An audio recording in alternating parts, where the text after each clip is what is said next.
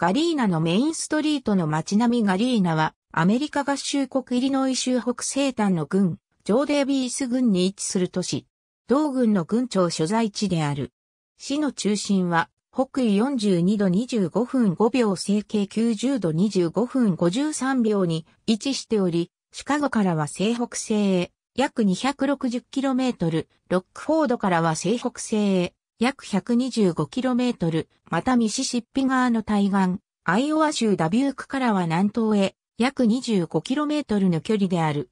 ガリーナはダビュークやウィスコンシン州ラクロス、ミネソタ州、ロチェスターなどと同様、無氷歴度地域と呼ばれる最終氷期において氷河に覆われず、侵食による平原化を免れた結果古生代の原地形がそのまま残された起伏に富み、深い谷が随所に刻まれた丘陵地帯に位置している。人口は3460人、地域面積は9.7京平方メートル。ガリーナの歴史は古く、すでに1690年代にはフランス人による入植が始まっていた。氏名はこの地で産出された片円港から付けられた。もともとこの地に住み着いていたネイティブアメリカンのソーク族やホックス族は体に施す化粧に用いるためにこの鉱物を採掘していたが、フランス人入植者はこの鉱物から鉛を得るために採掘を始めた。ユリシーズ・グラントの家19世紀に入ると、ガリーナの町にアメリカ人が住み着くようになった。退役した陸軍大佐でアイオワ州ダベンポートの氏名の由来にもなったジョージ・ダベンポートは1816年に片円港をミシシッピ川まで運び出すことに成功した。その3年後にはガリーナに取引所が設けられ、1824年にはガリーナに初めて蒸気船が寄港した。1845年頃にはガリーナは2万7000トンの片円港を産出し、ジョー・デイビーズ軍は全米の鉛の約80%を産出していた。この頃、ガリーナは人口1万4000人を抱えていた。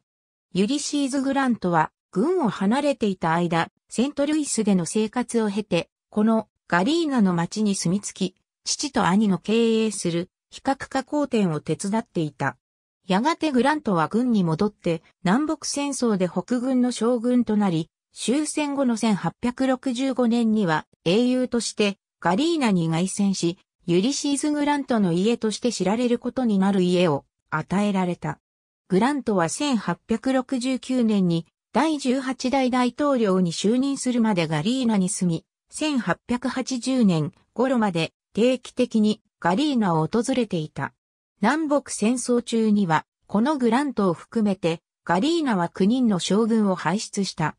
イーグルリッジリゾートスパのゴルフコースしかし、19世紀後半に入ると、鉛の需要が激減し、ガリーナの街も錆びれていった。その後1980年代までガリーナは小さな農村として残ったに過ぎなかった。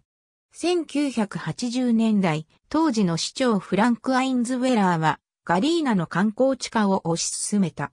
それ以降、ガリーナの地域経済はもっぱら観光業によって支えられている。ユリシーズ・グラントの家をはじめ、市内の建物の約85%は史跡に指定され、市の重要な観光資源となっている。メインストリートにはレストランや各種のショップが立ち並んでいる。